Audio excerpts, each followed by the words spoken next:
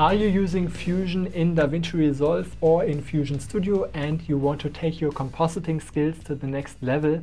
This course may be for you.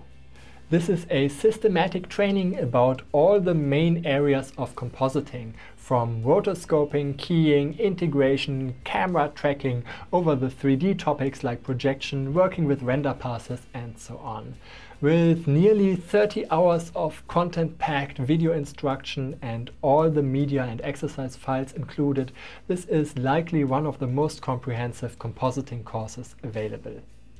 My name is Bernd. I'm a Blackmagic Design certified trainer for DaVinci Resolve and Fusion. Maybe you have come across my YouTube tutorials or have seen my free Fusion beginner course. I have not built this course primarily to explore Fusion tools, but primarily to explore compositing principles and show you how I can implement those with Fusion. This course is not where you find the polygon tool, but it's about how do you rotoscope a moving actor with multiple shapes in an efficient and realistic way. Or we are not just exploring the delta keyer, but we are talking about a fundamental keying process, which includes everything from green screen extraction, edge treatment, adaptive despill, and more advanced techniques to get hair detail that your default processes will miss.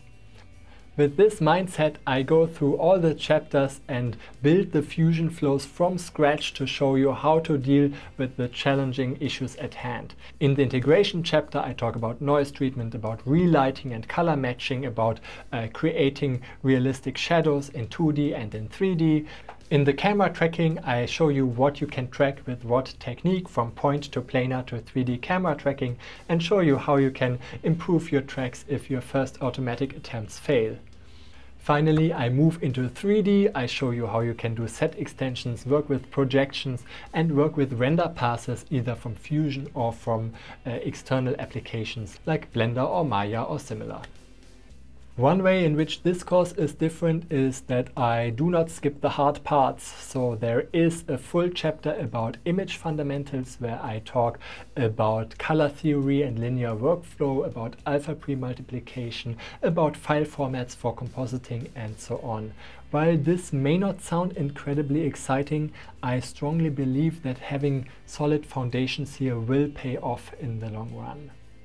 But there's also the fun part and at the end I have three case studies where I work through a cool VFX shot end to end and apply all the things learned throughout the course.